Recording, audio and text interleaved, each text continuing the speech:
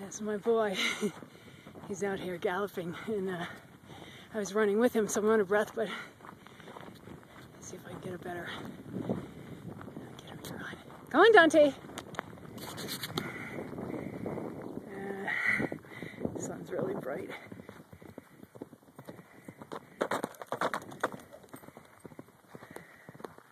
He's having a great time. I'm good him out here in back 10 acres where he can just have at it.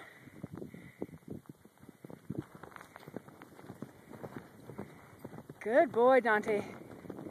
Because I need some exercise. Haven't been exercising him much and he really needs it. Don't we all?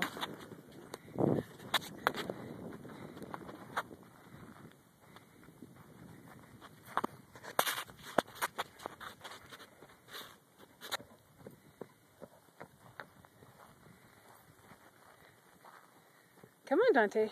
There you go.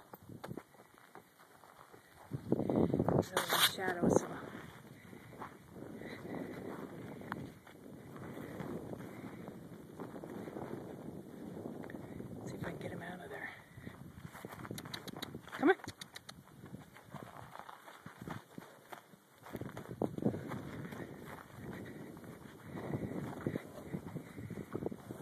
on.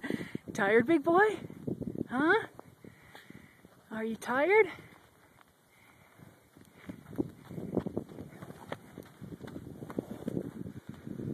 let's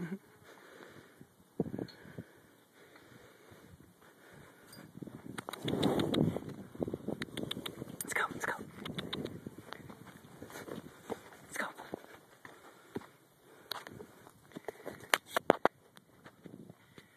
I just groomed him for about 45 minutes and he's still over 30. He needs a bath. You need a bath. Look at that beard.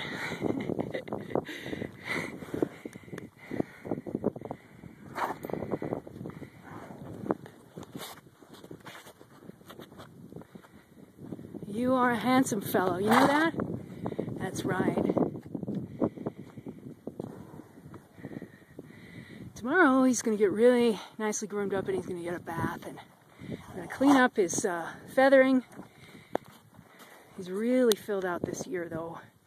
Starting to look like a real Clydesdale and not a teenager. And, uh, I'm going to get him all cleaned up and on Saturday he's going to do pony rides. He's probably the biggest pony in Mexico, but we're going to have pony rides. We're going to have a big event here. He'll love it. He likes kids.